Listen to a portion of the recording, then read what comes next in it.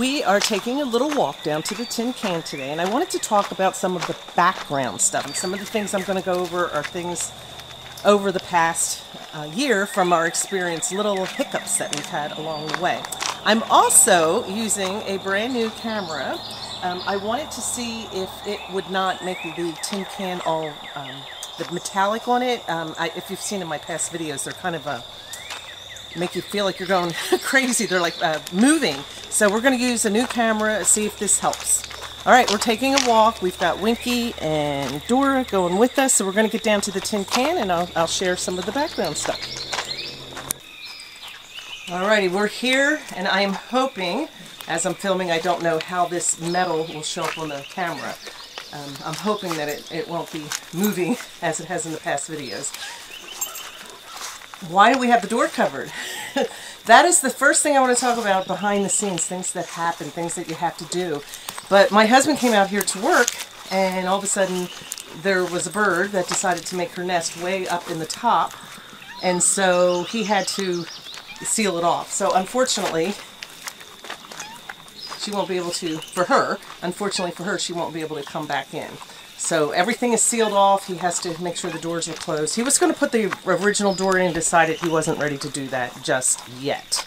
One of the biggest things you do when you're planning or creating something or building is you've got a lot of background stuff as far as planning. And we did not do it traditionally where we had somebody come out and draw up plans and all of that. We built a house together.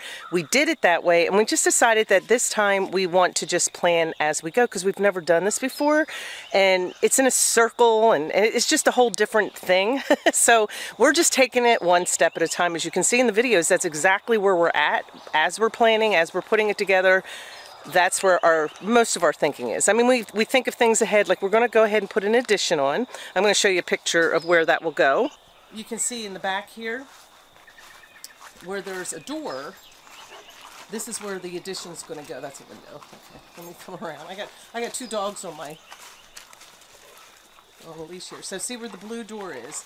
That's going to come out into a great big, all the way up here to the posts, uh, kitchen area. So the mechanical room will be in here, uh, storage, uh, maybe some cleaning supplies, like a, a, closet like that. And then there's going to be a big long table where the family can gather and eat, and then a kitchen. Not, the kitchen cabinets won't be huge, but the room will be huge. It's going to be 30 feet across, and then 30 feet in length. Now the 30 feet across, only 20 of it goes in the kitchen, and then right up in here, on the side that we're on, there's going to be a 10-foot porch, uh, concrete, which will be 30 feet long, um, so they can sit outside. So those are plans. Um, do we have them drawn up? No. Does, does he know what he wants it to look like? Absolutely. So, like I said, a lot of the planning, believe it or not, is done on napkins, and I can show you a couple here that are sitting right by his desk. He sits here at night and he plans. He does a lot of, he also does a lot of planning as far as supplies. We do buy our supplies from Menards and we have a Home Depot and a Lowe's. Everything's about an hour away from us, so we have to, you know, plan out our trips. But he also goes on Facebook a lot and Marketplace and looks for materials. There's a lot of people who build, who are in construction and business, they'll buy supplies and then they have too many and then they'll sell. Or even individual homeowners will buy things for a project and then decide, oh, I overbought and I want to sell it. So if you go on to Facebook Marketplace, there's a lot of good deals that you can find. So definitely check that out. We've gotten lots of wood that way. Everything's stored right now. We've got our windows for the addition that way. And then there's times you can't find anything, so you have to pay top dollar. One of those items my husband found were cedar posts, and you're like, "What are you going to do with those?" I still am, am, I still can't envision it yet, but he's very creative, so I'm trusting him and his decision. He wants to uh, cut these, uh, use them for the posts on the front, on the porch, and then use it for trim. So we do have sawmills around us abundantly, sawmills from the Amish. So that's not going to be a problem when he wants to cut them down and use them for trimming on the inside. So here you see it. They're sitting here. We we bought them a while ago and grass is growing around the trailer, but they will be used. Just this week, this trailer here was full of metal that took an entire day to get that to the scrap yard and get it out of here. Of course, as we walk around the yard, I'm like, oh, there's another piece, but we'll go again. But again, uh, big jobs, things like that, that interrupt your building and interrupt what you want to do, but it has to be done.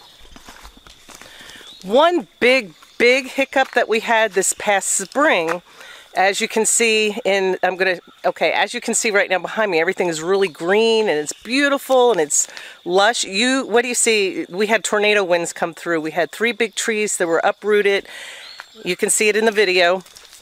And it was devastating. We couldn't work out here. My husband said it sounded like the roof of the grain bin was uh, like fluttering. It was so loud in there and echoing and, you know, reverberating around. But it was really bad. We probably had about a week of this. Uh, rains and trees down. Um, we So we spent a lot of time getting them out of the driveway and, you know, clearing as much as we could. Now you can't see anything. I mean, now you wouldn't even know we have any trees down. It's very green and beautiful, but when fall comes, you'll get to see the trees again. Now, the good thing about that is we do have a wood burning fireplace and we can cut that and use the good pieces, the trash pieces. I have little campfires for, you know, when the grandkids come. I had to share one more thing that we've picked up.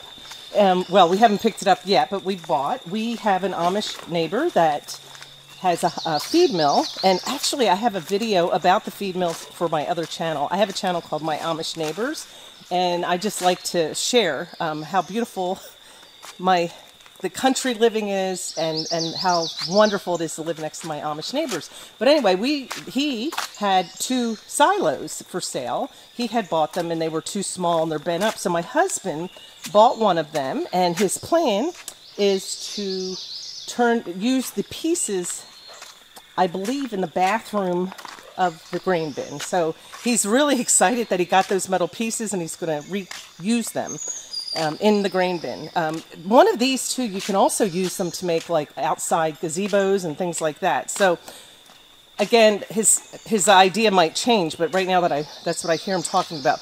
Um, believe it or not, this project has gotten my husband to go onto Pinterest. so he's he just finds ideas and and you know that he wants to implement into the grain bin. So basically, that is what's going on behind the scenes.